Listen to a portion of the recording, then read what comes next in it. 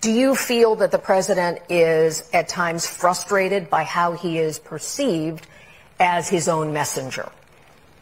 It's an interesting question. Look, I think um, every president probably is frustrated at moments when they are not do not feel like their views, their passions, their policies are being heard and digested.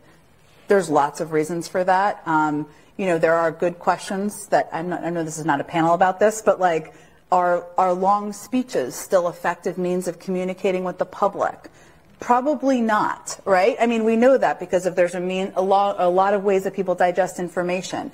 Um, would he like to be traveling a lot more out in the country? We've been talking about this for a while. Yes, and he's and right now you're doing and he is. I mean, he's he's traveling three times this week, and in, in some ways, I look at there are limitations that have been imposed upon him and us because of COVID that I think have not allowed people to see at all times what what his magic is, right?